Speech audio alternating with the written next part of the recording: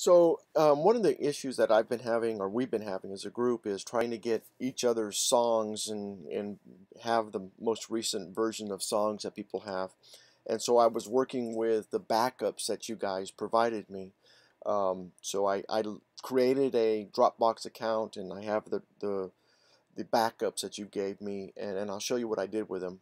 But the problem that I was trying to solve is how do multiple musicians share their songs easily with the OnSong app. And here's what I came up with. Uh, number one is to create a Dropbox account that we can all share. And so I've created one and I'll share the user ID with you and password and we'll go in that in a minute.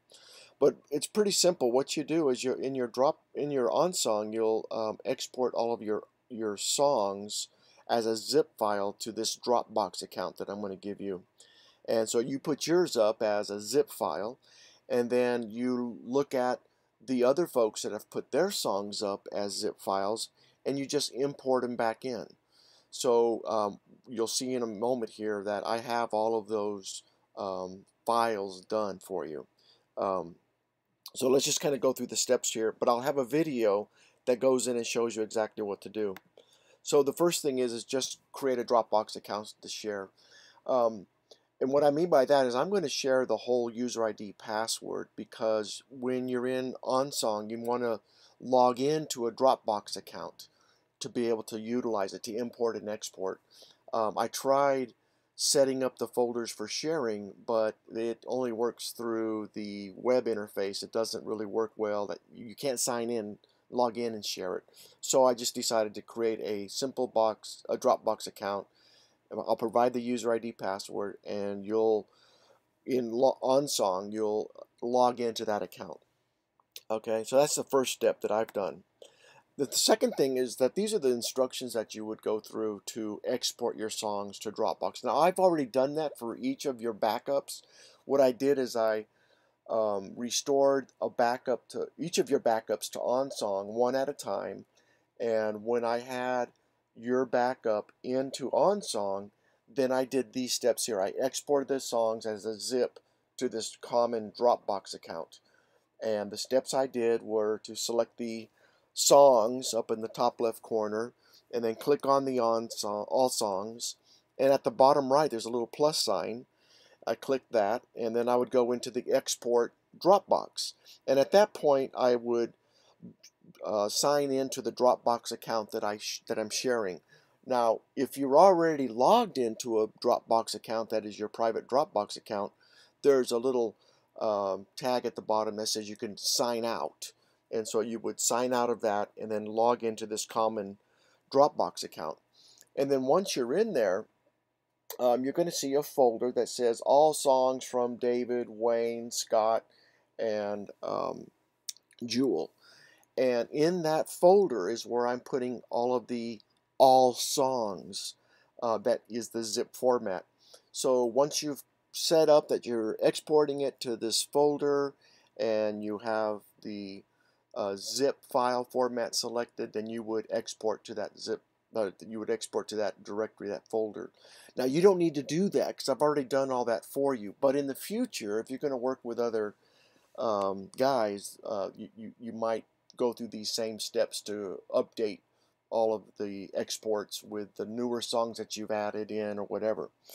But so now what we would have if everybody went and exported their songs as a zip to Dropbox, we would have four or five zip files of all your songs. Now I've already again I've already done that. So the only step that you need to do is the importing the all songs. Now the importing of these songs is different than doing the recovering from a backup. If in all songs, if you import a backup, it replaces everything you have, all the settings, all the display, everything. And it replaces it with whatever the backup is. And that's not what we're going to do. What we're going to do here is import all the songs that were provided by each other into the app and you'll have the opportunity to say whether or not you want to update the songs if they're exactly the same or replace them or make them duplicate and I'll show you all that. But the steps here are click on the songs again, go to the all songs and at the bottom right is the plus sign. That's the same in, in both steps. But this time you're going to click Import Dropbox. And again, either you will sign out of your current Dropbox account or use the Dropbox account when you when you export it that you would be logged into the right one. So you'll navigate then to the folder that says all songs from David and Wayne and Jewel and Scott, hmm, something like that. And you'll click in, you'll click on what zip file to import. Now, I've already imported all of your archives into one common um, um, zip file or one, one common all song. So when you look at these files inside of this folder, you're going to see Wayne's backups, Jules backups, and David's backups. And then you'll see one that's that says common. Uh, it has all the all the all your names on it. If you select that one, you'll get the sum total of Scott's, Jules, Wayne's, and David's. Um, so you can just do that one. Um, and when you click on the import in the top right corner, it's going to ask you whether you want to do this as an update. So if you have the same exact song, it'll update your version. Or if you want to just keep a duplicate, and that way, if they're a little bit different, you can kind of look and see what the difference is. Or just uh, skip it, don't import it if you already have the exact same song. And then you can cancel, just like, okay, I don't want to do this at this time. So that's all there is to it.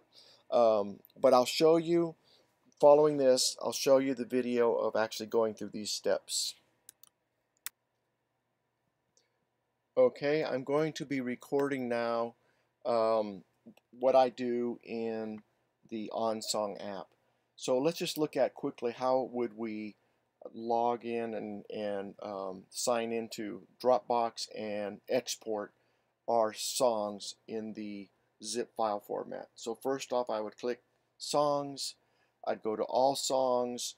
And then down at the bottom right corner there's a plus sign next to it says local remote and then there's a plus. So what I'm going to look at is exporting to Dropbox. Now you'll notice that I'm already set up at the very bottom of this page that came up. At the bottom it says uh, Dropbox all songs from David. I'll click it right there and what what it does if you click this bottom um, part that says Dropbox All Songs, you'll you'll see that it has choose an export location.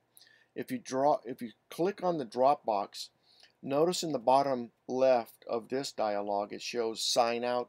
So if you're currently in your own personal Dropbox account that you're doing your backups to, just sign out of that for the temporary and then sign into the account with the user ID and password that I provided and you'll then see the folders. I have a folder for all songs from David, Jewel, Scott, and Wayne.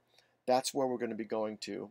And when I asked you earlier uh, to share your backups, those are in the backups uh, folder. So for now, we want to choose the all songs from David. So we say choose. Now this is how we're, we would be doing the, the exporting again. So on this OnSong archive, notice that I have the, that checked out. That's checked. And then I can also look at this, this wrench here at the bottom and make sure that you have it set as a zip file. Okay, so then once you've done that, we're now going to, we can, up in the top right corner, we can click on the export. Okay, now I've already done that, so there's no necessity for me to do that. But if you're going to go forward and use this with other people, this is how you would export your current um, set of songs as an archive file in zip format. So that is taking care of the exporting. Now what we want to do is look at, okay, how do I import? That's really straightforward too.